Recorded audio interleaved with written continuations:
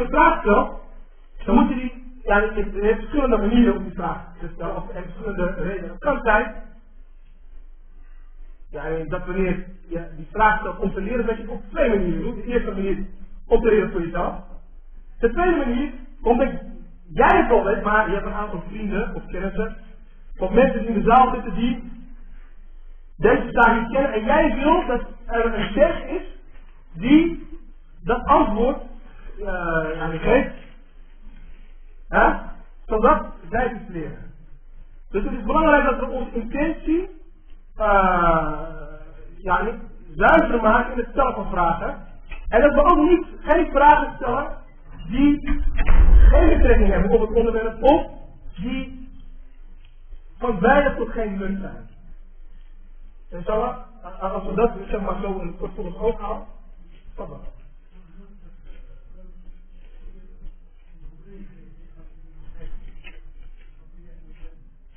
Oké, okay, je mag het.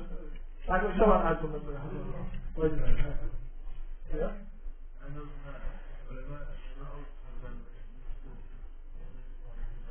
Ja. Vanuit het oogpunt dat het uitnodigen, het uitnodigen is op zich een aanbidding. Het uitnodigen op zich is een aanbidding. Oh, hij, hij zei, ja, hoe moet het begrijpen? Het uitnodigen naar Allah en het uitnodigen naar de geleerden. Hoe moet je dat begrijpen? Dat zijn twee, hetzelfde, het is dezelfde uitspraak, maar ja, het lijkt alsof het uh, ja, elkaar een beetje. Het uitnodigen naar Allah in de zin van dat je dat doet omwille van hem alleen. En daarbij komt ook bij kijken dat de manier van uitnodigen, hè, dat heb ik niet gezegd, maar, maar ja, als je goed geluisterd hebt naar de lezing, hoor, het woordje, heb je gemerkt dat het ook in overeenstemming moet zijn met de zonne van de profeet sallallahu En dan zeggen we eenmaal dat het uitnodigen of de dawa, dat het tawfiqiyya is. Hij is vastgesteld. Je kan niet iets nieuws toevoegen aan het uitnodigen. Het uitnodigen heeft vastgestelde manieren om dat te doen. Yani, zou bijvoorbeeld nu in deze tijd, of nou in de, in de 40, 50, 60 jaren, er mensen die zeiden, we gaan de mensen uitnodigen door met z'n allen op, ja, door met z'n allen gaan dansen. Ga met z'n allen dansen, lekker dansen en de mensen uitnodigen. Zijn allemaal dansen, weet je wel. En sommige mensen die nodigen uit als zingende. Als zingende. Oeh, oeh, oeh, oeh, oeh. En sommige uitnodigen naar Allah.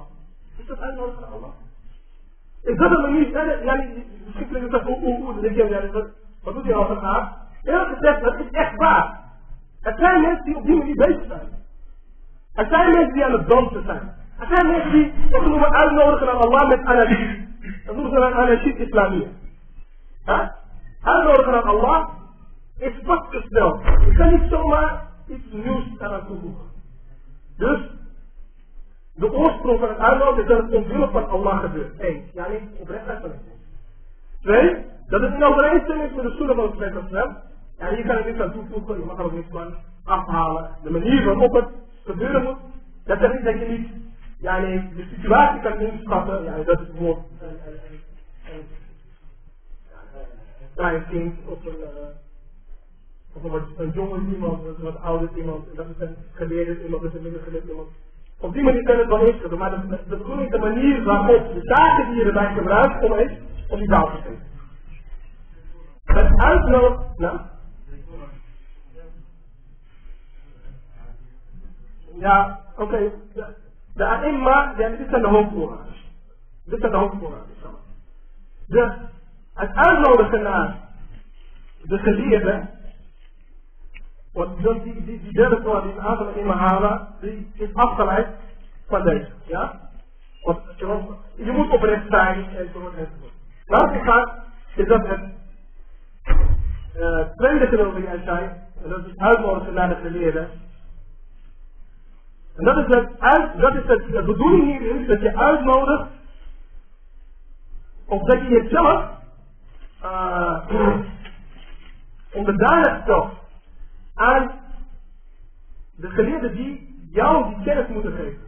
Zij zijn degene die het begrip, het, het, het, Het ultieme of het duidelijke begrip van de Koran en de Sunna hebben. Jij als student bent maar een student. Het is dus zo dat je de mensen verbindt met hen. Diegenen die het meest goed sprekend zijn en degenen die de meeste kennis hebben van, deze, van dit geloof. Want als je de mensen gaat vastbinden aan jezelf, dat betekent dat je een nieuwe groep gaat maken. Mensen uitnodigen naar jezelf. Dat is niet toegestaan. Ja. Wat er Oké, dat, dat, dat, gaat, dat, dat gaat dat niet tegen. Het uitnodigen naar, bijvoorbeeld, uh, iemand doet een bepaalde schoenen van, de, van, het gebed in. En het dat zeggen, gaat het niet tegen dat de, de essentie van de dauw van het uitnodigen, de dauw van het uitnodigen, naar de weg moet zijn van de geleerden. Hij moet de mensen verbinden met de geleerden en niet met zichzelf. Ga je?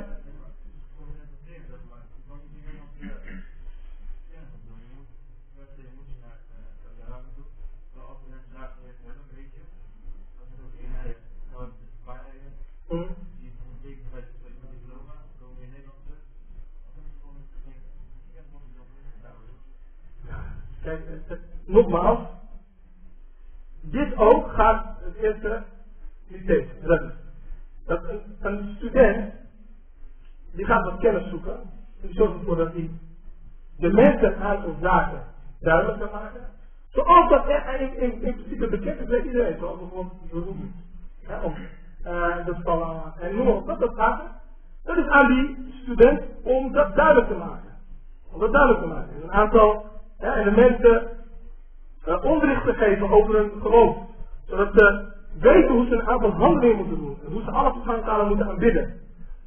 Maar hij mag hen niet uitnodigen door de mensen te denken te geven dat hij degene is waar men naar terug moet keren als het gaat over zaken die, dat noemen ze bijvoorbeeld, ja, een nawazin. Over zaken die, ja, uh, yani, nieuw ontwikkelen, yani, nieuw, zaken die zich opnieuw, yani, nieuw ontwikkelen.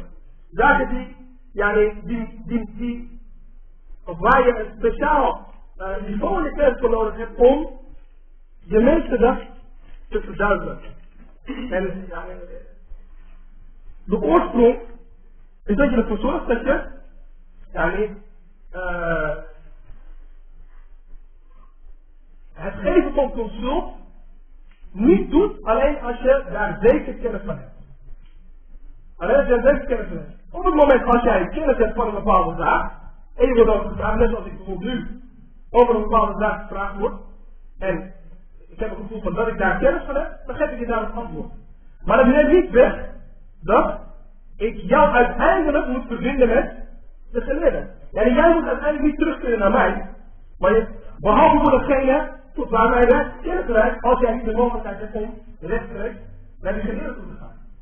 Maar als jij, over, op het moment dat over die mogelijkheid bezit, dan is het aan jou om, naar de geleerde toe te gaan. En dat wil niet zeggen dat we samen een aantal dingen doornemen, een aantal dingen bespreken, een aantal dingen. En dat zeg ik ook van het begin, ja, het is niet zo dat ik hier een grote geleerde kom uithouden. We zijn hier gewoon eens met z'n allen een aantal dingen aan het bespreken.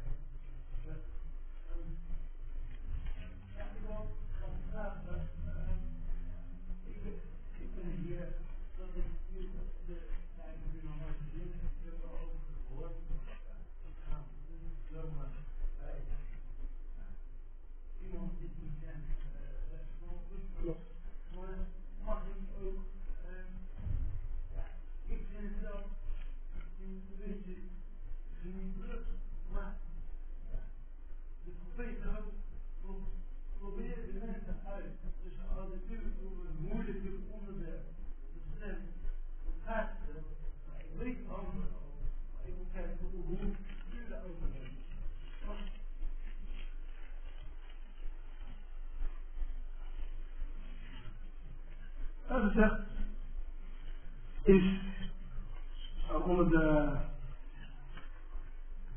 praktiserende broeders en ja, gaat er een, een, een, een bepaald gegeven rond en dat is dat het toegestaan zou zijn om de sjoeg op de proef te stellen. Dat houdt in dat je kennis hebt over een bepaalde zaak. En vervolgens de sheikh gaat vragen om verschillende redenen. Of, of kan verschillende redenen aan. Om één, te kijken of de sheikh die kennis bezit. En het kan zijn dat de sheikh niet gespecialiseerd is in de zaak waar jij op dat moment kent. Het kan zijn dat iemand een heel boek, een bepaalde zaak helemaal, ja, helemaal goed bestudeert. En vervolgens bij die sheikh komt en die, en die vraag stelt en wat die sheikh niet, ja, die, die naslagwerking heeft gelezen over die desbetreffende zaak. Dat weet je niet. Het kan ook zijn dat diegene die vragen stelt op die manier wil laten zien aan de anderen hoeveel kennis hij wil heeft. En werkelijkheid stelt hij die vraag aan de mensen, of aan de sheikh, om de mensen te laten zien dat, nou, waarschijnlijk is dit helemaal gekend. Ik ben degene die heeft. En dat is dit soort intenties, of dit soort manieren, die zijn erg niet netjes. En daarom hebben we verduidelijkt dat het belangrijk is dat we vragen om kennis te zoeken. Vragen om kennis te zoeken. Of vragen omdat wij het wel weten, maar we willen graag dat de mensen er iets van leren. En het is belangrijk hierbij ook om te weten dat veel mensen denken dat als er een sheikh komt, hij antwoord moet geven op alle vragen. Als hij dat niet doet, dan is hij geen meer. En dat is eerlijk gezegd, broeders, dat is eerlijk gezegd ja, uh, niet waar. Dat is fout. Het is niet zo dat een sheikh antwoord op alles moet kunnen geven, want anders is hij geen sheikh meer. Ik, ik, ik, ga een voorbeeld Ik was laatst waren we Sheikh we hadden les over uh, ja, de hoofd, de, de, de, de bron van de profeet sallallahu alaihi wa sallam. En toen werd hij over deze bron gevraagd. Ik herinner me even niet meer precies de vraag, maar hij heeft over een aantal De vraag is, Allah, ik heb er geen kennis van. En jullie weten het verhaal van imam Malik, die op hoeveel vragen zei, Allah Allah, Allah Allah. En Abdullah ibn zo, die maakt duidelijk dat Allahu Alam, dat dat de helft van de kennis is. Want iemand die zichzelf gaat uh, dwingen om op alles antwoord te gaan geven,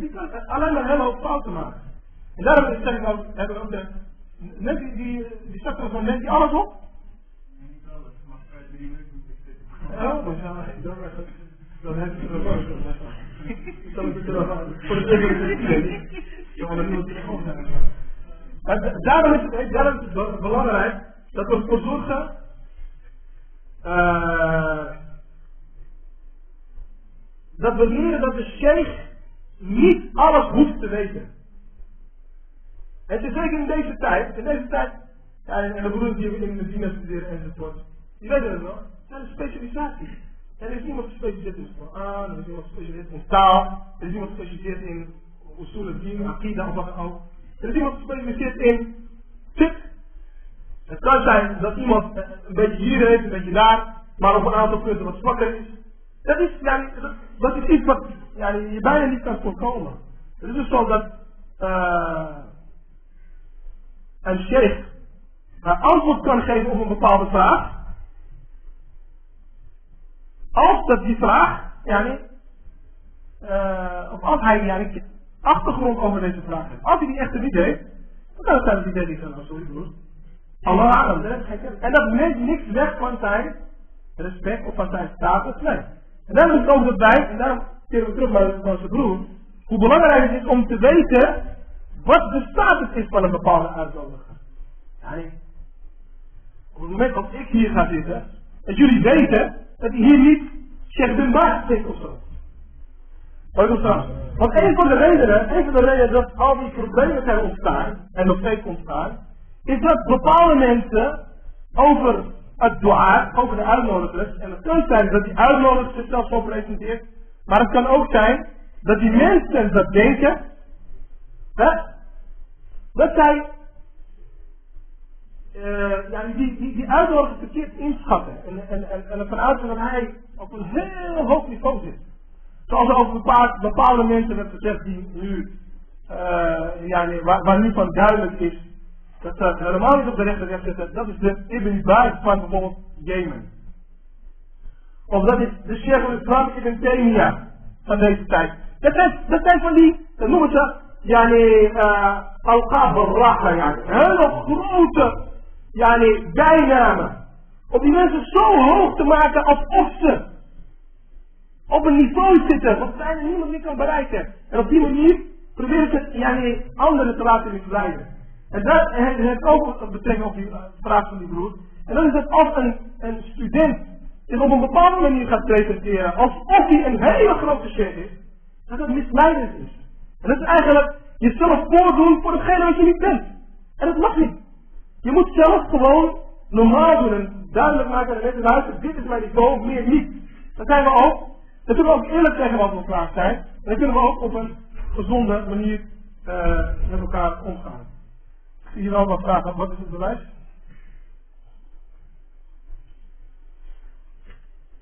Wat is het bewijs voor het terugkeren met een verschil naar Allah en de profeet? Wat is er aan zaken Rudduhu ila Allah wa Rasul. En als jullie, dat is een ah, ayah in de Koran, en als jullie eh, uh, open menings, in een meningsverschil treden over een aantal zaken, keer dan terug naar het boek van Allah. En keer dan terug naar Allah en de profeet. Nou, wat betekent dat? Keer terug naar Allah betekent naar de Koran. Keer terug naar de profeet betekent het goed, In zijn leven, in zijn tijdens zijn leven, kan je dan terugkeren naar de profeet. Want hij is levend tijdens het leven van de profeet, keer terug naar de Rasul. En het is Haba, die kon terugkeren naar de profeet, want hij was aanwezig. Maar na het overlijden van de profeet sallallahu alaihi wasallam is het onmogelijk om terug te keren naar de profeet, want hij is overleden. Wat doe je? Je keert terug naar zijn authentieke sunnah. Misschien is het beter om te zeggen de essentie van de methode van de dawa en niet, van, en niet de essentie van de dawa. Zakallah uh, dat is een goede opmerking. En nogmaals, uh, omdat we continu aan het vertalen zijn. In mijn hoofd wordt continu te vertalen naar een ayah, een tekst dit en dat. Kan het soms zijn dat ik net even een wat minder sterke betekenis van een bepaald vers of een bepaalde uh, hadith of, uitspraak uh, aanhaal. En mijn excuses daarvoor.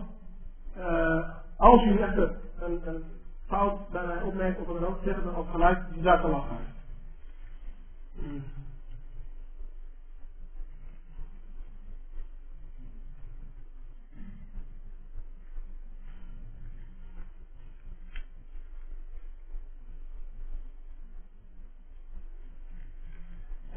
Assalamu alaikum.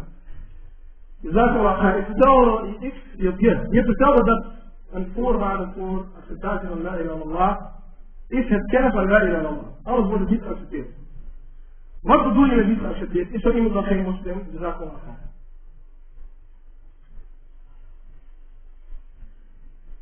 Precies zoals ik het heb gezegd.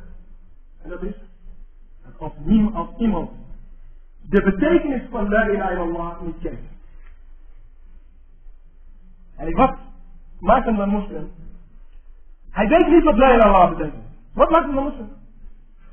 Want er moet bevest, of ontkenning en bevestiging zijn. Hij moet weten dat hij alles, alles en, eh, ja, nee, ontkent. Ja, of dat hij alle, alle zaken die maar aanbeden kunnen worden ontkent. En dat hij de aanbidding alleen maar erkent voor Allah. Dat is toch wel, ja, dat is toch wel logisch dat hij dat minimaal moet begrijpen. Als hij dat niet eens begrijpt. Wat maakt hem dan moslim? Het maakt het hem misschien dat hij dan zegt, oké, hij kan moslim zijn als hij, de boodschap is niet bij gekomen. Hij weet helemaal niks. Hij is van een fitra. Hij iemand die op een fitra zit. Maar dat is over het algemeen hier in Nederland niet, niet het geval. En iemand die hij weet helemaal niks. Hij heeft nog nooit gehoord van het islam. Over het, algemeen, over het islam. Over het algemeen is het dan iemand die van, op pure natuur zit, ja nee, uh, sorry. Maar als iemand moslim wil worden, een van, wat is de voorwaarde voor het moslim worden? Huh? De voorwaarden voor het moeten, maar anders.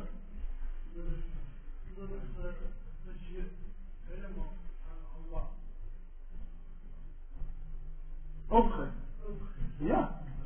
En dat je, dat, dat je, dat je, dat je getuigt van la ilaha illallah Muhammad. Een getuigenis kan alleen maar met kennis. Een getuigenis kan alleen maar met kennis. Nou.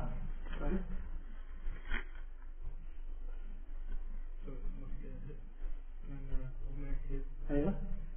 Want een bewijs daarvoor is ook, stel dat alleen maar het uitspreken daarvan uh, genoeg zou zijn, terwijl hij helemaal geen kennis over heeft. Dan kun je gewoon zomaar een kerkgroep buiten aanspreken en zeggen van, zeg maar la ilaha illallah. En als wij zeggen la ilaha illallah, Ja. dan maakt hem dat nog is mooi, is mooi. En ja, je kan zo naar een kafir toe lopen en zeggen, zeggen, zeg la ilaha illallah. Ja, betekent dat dat hij, als hij la ilaha illallah zegt, dat hij gelijk moslim wordt? Ja. Het is een beetje, als iemand niet heeft gestudeerd bij een geleerde, maar hij heeft alleen bij, wat zeg ik? Uit de boeken van... Oh, hij heeft alleen uit de boeken van de geleerden gestudeerd. Kan je bij hem lessen volgen? Hmm. Nou de oorsprong is dat de kennis gehaald wordt bij de geleerden. En dat iemand wie sheikh zijn boek is, meer fouten zal hebben dan correctheden. Hij wiens sheikh zijn boek is, zal meer fouten hebben dan correctheden. Omdat kennis gezocht wordt bij de geleerden.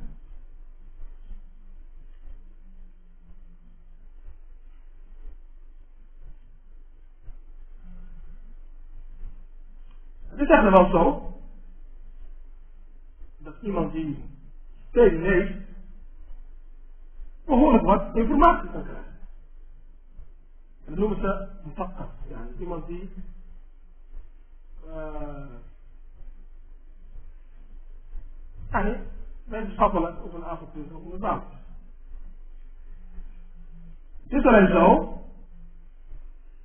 dat dat niet volstaat.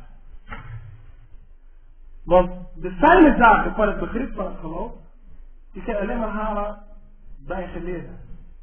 Want vaak als er een boek wordt gelezen of een boek wordt onderwezen, dan zal je zien dat die sheikh bepaalde, ja, die, zoals bijvoorbeeld gisteren, we spraken over Usul Sunnah.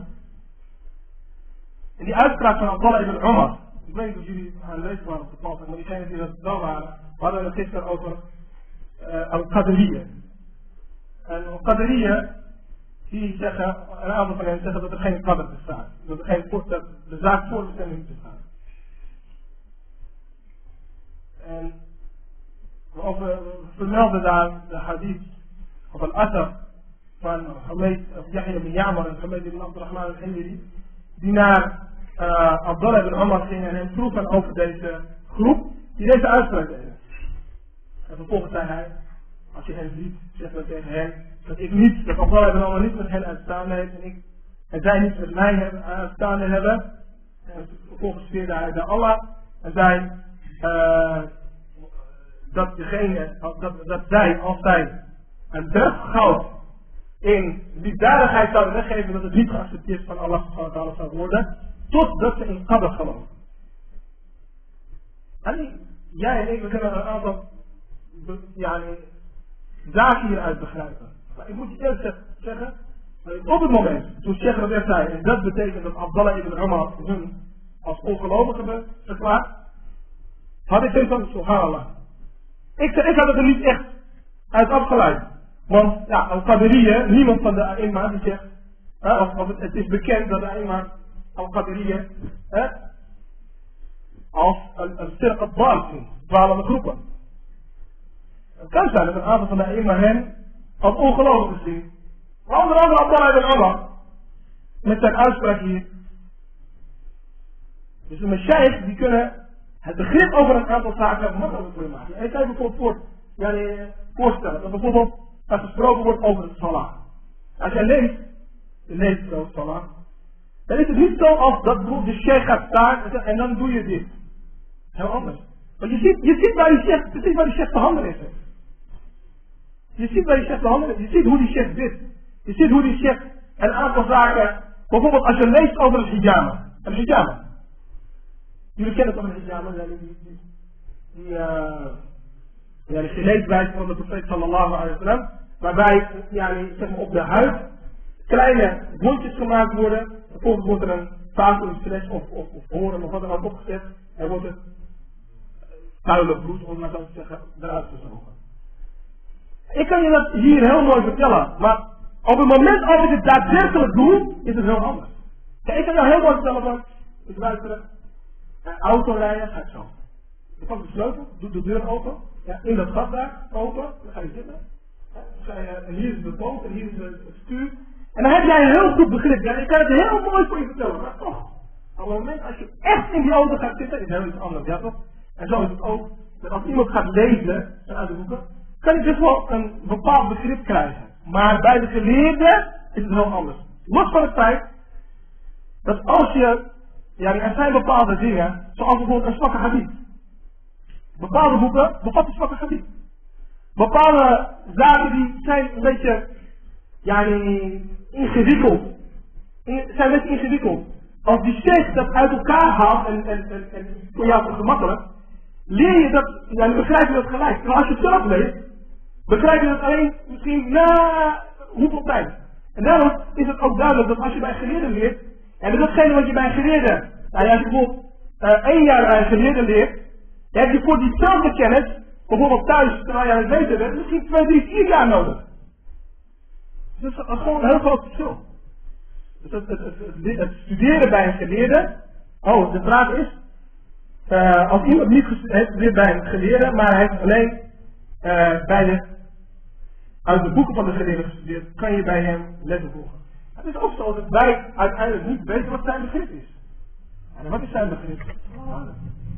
Nou, het zou, zoals ik Chef Robert een keertje heb horen zeggen, of een andere keer heb horen zeggen, hem, en diegene die uit de boeken heeft gestudeerd, het zou zo moeten zijn dat hij naar de geleerde toe gaat en zijn kennis bij de geleerde voorlegt.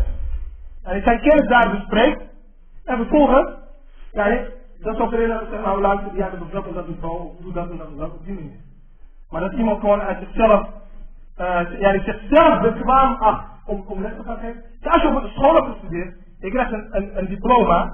Hè, ja, je krijgt, als je hebt afgestudeerd op een universiteit in Argentina, dan houdt en je krijgt een diploma, dan is dat een getuigenis van de school dat jij dat die en die cursus hebt afgemaakt. Wat dus inhoudt dat je gestudeerd hebt. Dat is een minimum. Vroeger ze het ijabe. Als een, een, student gestudeerd is bij een chef, dan uiteindelijk geeft hij hem een, toestemming voor het onderwijs. Ik ga er een eind aan maken. Nog één vraag?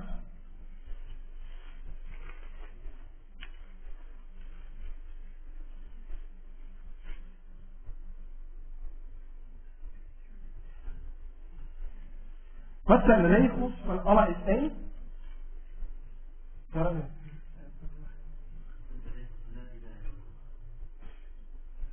ها؟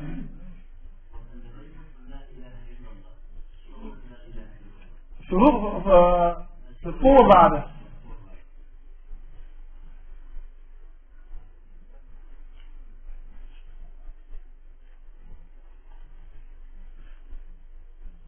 هذا يشمل على هذا وصلى الله على نبينا محمد وعلى آله وصحبه أجمعين والحمد لله. رب العالمين